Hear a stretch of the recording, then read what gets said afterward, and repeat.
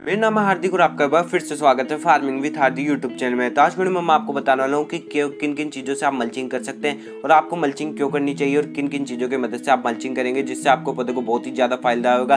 तो सबसे पहले बात कर लेते हैं हमें मल्चिंग आखिरकार करनी क्यों चाहिए। हमें पता तो होना चाहिए कि जो चीज़ हम कर रहे हैं तो हमें क्यों करनी चाहिए। तो मल्चिंग करने का पहला फ़ायदा होता है कि गर्मियाँ बहुत ज़्यादा हो रही है तो गर्मियों में तो आपको मल्चिंग करनी चाहिए। तो गर्मियों में कई बार क्या होता है कि आपको पौधे को दो दो बार पानी डालना पड़ता है, एक दिन में लगभग दो बार पानी डालना पड़ता है।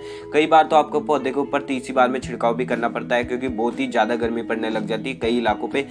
मैं बेसिकली मैं भी राजस्थान में रहता हूँ तो काफ़ी ज़्यादा गर्मी यहाँ पे भी पड़ती है। तो मैं को भी कई बार गर्मियों में दो से तीन बार पानी डालने की ज़रूरत पड़ती है। तो मैं आज आपके साथ शेयर करूँगा ये इन्फॉर्मेटिव वीडियो कि आपको अपने पौधे की मल्चिंग क्यों करनी चाहिए और कैसे करनी चाहिए। तो इस वीडियो में अंत तक ज़रूर बने रहेगा, क्योंकि अगर आप पौधे की मल्चिंग कर देते हैं तो उससे जो पानी उड़ता है मिट्टी से, वो उड़ेगा नहीं और आपकी मिट्टी में स्टोर रहेगा। और मल्चिंग करने से जो आपकी मिट्टी के ऊपर एक और लेयर बन जाती है तो वो लेयर ऊपर की ड्राई होगी आपकी जो मिट्टी, जो नीचे वाली न्यूट्रिशन रिच मिट्टी है, वो एकदम सेफ़ रहेगी, जो पहली जो चीज़ आती है जिससे आप मल्चिंग कर सकते हैं, वो है वर्मी कंपोस्ट। वर्मी कंपोस्ट एक बहुत ही बेहतरीन खाद है। आपने इसे अपने एक ना एक बार नाम सुना होगा, ये होती है हमारी वर्मी कंपोस्ट जिसे केचुआ खाद भी हिंदी में कहा जाता है। इससे फ़ायदा क्या होगा मल्चिंग करने से? आप ऊपर से इससे मल्चिंग कर देंगे तो और जब भी आप पानी डालेंगे तो इसमें नमी तो बनी रहेगी मिट्टी से ज़्यादा, और साथ ही जैसे आप पानी डालेंगे तो जो इसके अंदर से न्यूट्रिशन है, वो धीरे धीरे पानी में घुलते घुल के आपके पौधे को भी मिलते रहेंगे। तो दोनों काम हो जाएँगे, हमारे मल्चिंग के भी हो जाएँगे।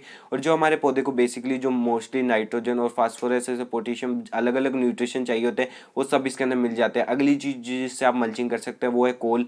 कोयला जो होता है मल्चिंग करने के लिए बहुत ही बढ़िया होता है। काफ़ी कम लोगों ने सुना होगा कि कोयले से मल्चिंग कर सकते हैं, पर बेस्ट होता है ये भी मल्चिंग के लिए। एक तो दिखने में भी बहुत सुंदर लगता है मल्चिंग करने के बाद, और जो कोयला होता है वो कार्बन से बना होता है। तो कार्बन की मात्रा हमारे पौधे में कमी नहीं होने देगा। अगर आप इससे मल्चिंग कर देंगे तो आप कोयले से भी अपने घर पर मल्चिंग कर सकते हैं।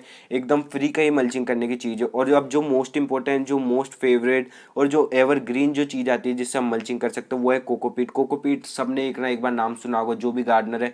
आज तक उसने ऐसा नहीं हो सकता कि उसने कोकोपीट का नाम नहीं सुना हो। जितने भी लोग ये वीडियो देख रहे हैं सबने कोकोपीट का नाम कभी ना कभी तो सुना ही होगा। और फिर कोकोपीट से मल्चिंग करने का फ़ायदा क्या होगा? अगर आप कोकोपीट से मल्चिंग कर देंगे और फिर पानी डालेंगे तो ये बहुत ही सारा पानी एक साथ ही ऑब्जॉर्व कर लेती है, जो ये धीरे धीरे काफ़ी अच्छे अच्छे तरीके से आपके पौधे की जो मिट्टी का मॉइस्चर है, उसको होल्ड करके रखेगी।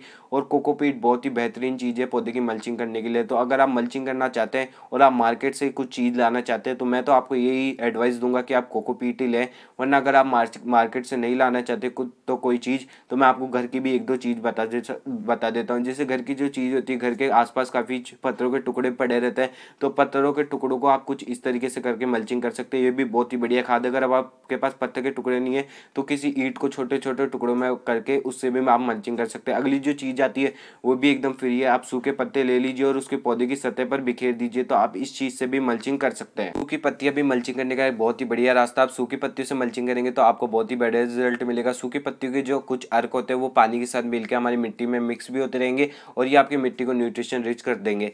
तो इस वीडियो में हमने सीखा कि आपको मल्चिंग क्यों करनी चाहिए और किन किन चीज़ों से आप मल्चिंग कर सकते हैं। मैंने आपको दोनों चीज़ें बताई कि जो आपको घर पर मिल जाए और जो आप मार्केट से लाए। अगर ये वीडियो आपको थोड़ा भी इन्फॉर्मेटिव लगाओ तो इस वीडियो को लाइक करिएगा और हमारे चैनल पर पहली बार आए और आपने हमारे चैनल को सब्सक्राइब नहीं करा तो फटाफट से चैनल को सब्सक्राइब कर दीजिए और अगर आपके कोई और भी गार्डनर दोस्त है तो इस इन्फॉर्मेटिव वीडियो को उनके साथ भी शेयर करिएगा। आई होप आपका आज का ये वीडियो पसंद आया हो